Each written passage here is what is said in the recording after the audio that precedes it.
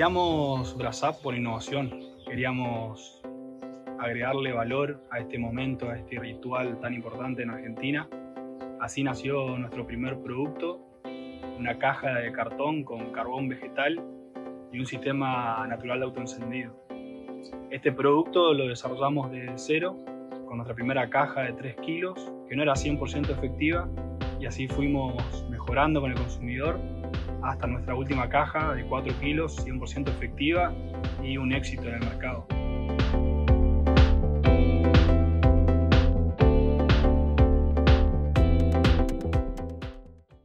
Pero una vez metidos en el negocio del carbón vegetal, nos dimos cuenta de, la realidad de la que no queríamos formar parte.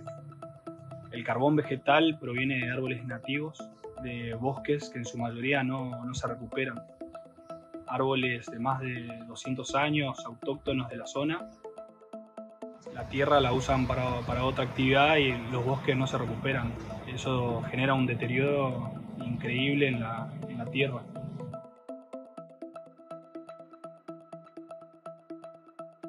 Cuando vi esto me puse a buscar alternativas de carbón en Argentina.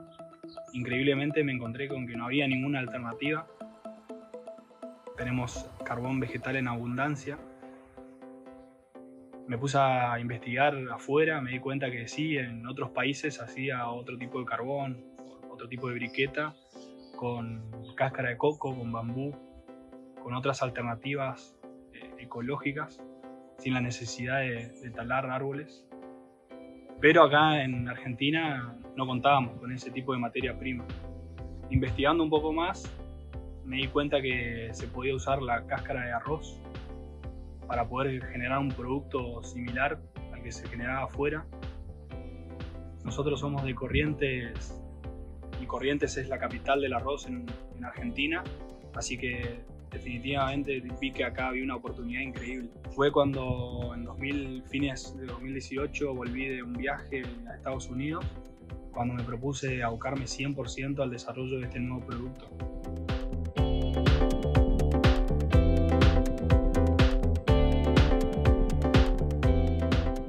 Otra vez me encontré desarrollando un producto desde cero, pero en este caso era un, desarrollo totalmente 360 de un producto que, con una materia prima que no se había usado no solamente acá en Argentina, sino en ninguna parte del mundo.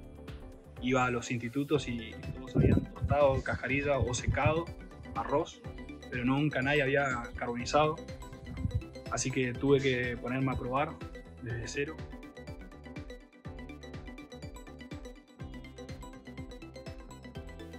Para que carbonice la cascarilla tienen que pasar dos cosas. Tiene que haber ausencia de oxígeno y alta temperatura.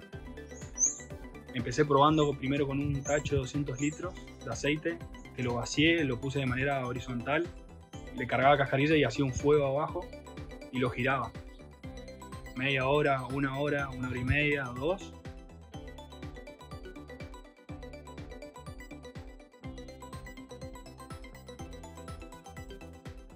abría y no llegaba a carbonizar.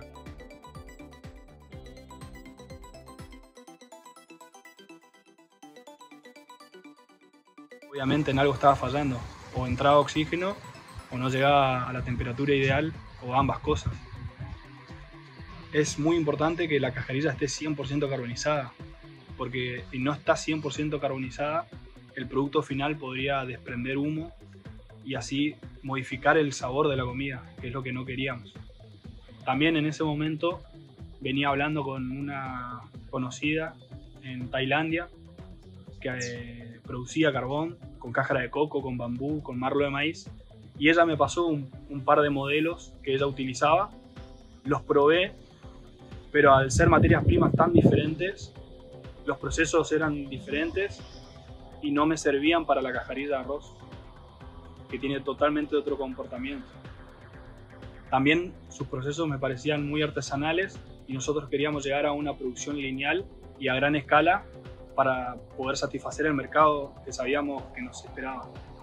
Fue entonces cuando me junté con dos amigos acá de Corrientes, autodidactas, desarrolladores de, maquinaria y automatizadores de procesos industriales, me dieron una mano a empezar a, darle un poco más de perfección a este sistema. Le agregamos un motor para darle un, giro continuo, le agregamos gas también, un, quemador para darle un fuego continuo también, y lo hermetizamos un poco más al tacho y le dimos giro.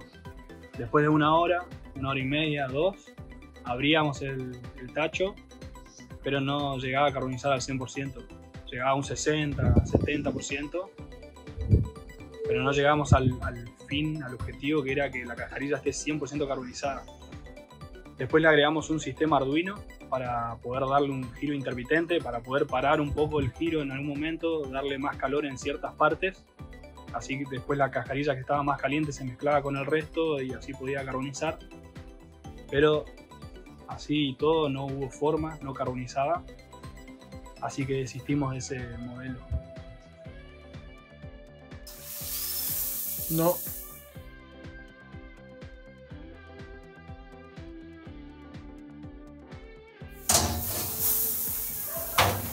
Se tostó pero no se carbonizó.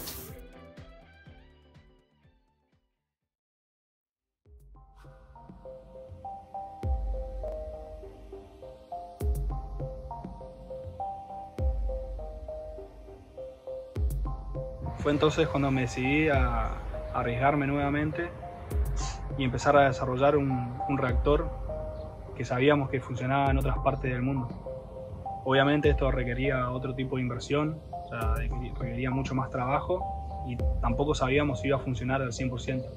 Lo diseñamos, lo fabricamos y lo probamos.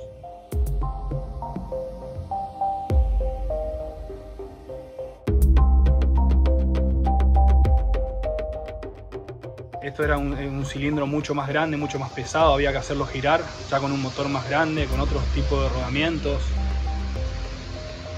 Al ser mucho más grande el cilindro también teníamos que darle mucho más calor, fabricamos unos quemadores más grandes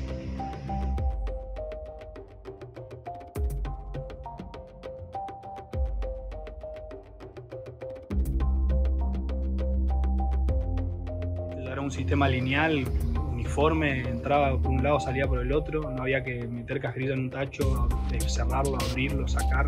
Esto era súper lineal, totalmente industrial. Lo que si funcionaba iba a ser muy bueno para, para el negocio.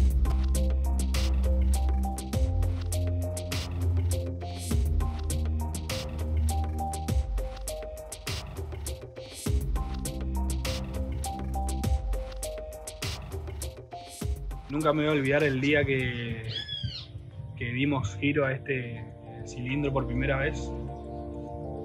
Ingresó cajarilla a un lado y esperamos a que salga del otro.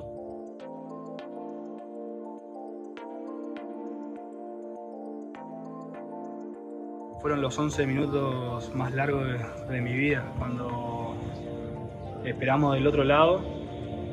Vimos que salía cajarilla carbonizadas al 100% del otro lado y la verdad no, no, pude creer.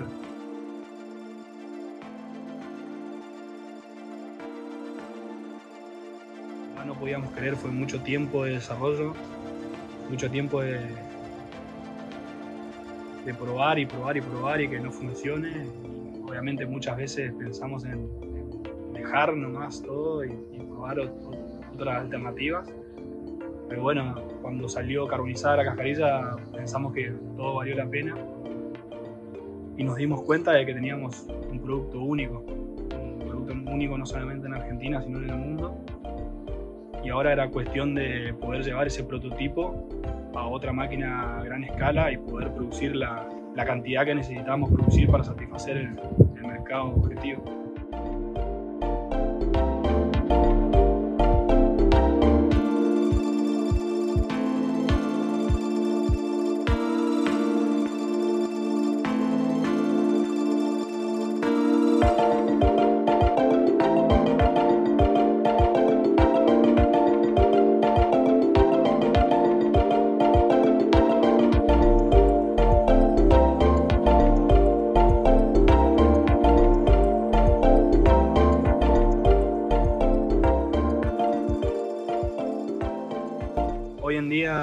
Nos encontramos desarrollando esta maquinaria a gran escala para poder satisfacer la demanda que tenemos. El producto lo lanzamos hace muy poco, en diciembre del 2020, y la verdad que la demanda sobrepasó nuestras expectativas por, muchísimo. También nos encontramos en pleno traslado al Parque Industrial de Santa Catalina, acá en Corrientes, para poder estar más cómodos para producir. Nuestro modelo de negocio parte de una visión a largo plazo de crecimiento en conjunto. Creemos 100% que vamos a lograr los objetivos creciendo con socios estratégicos, con diferentes plantas en diferentes partes del mundo y no con una gigante en un solo lugar, porque tenemos desechos orgánicos en todos lados. Cáscara de arroz, cáscara de nuez, cáscara de almendra, bambú, cáscara de maní, diferentes materias primas que podemos aprovechar, diferentes desechos disponibles en todas partes del mundo que podemos aprovechar para crear este producto único y poder llegar a todo el planeta.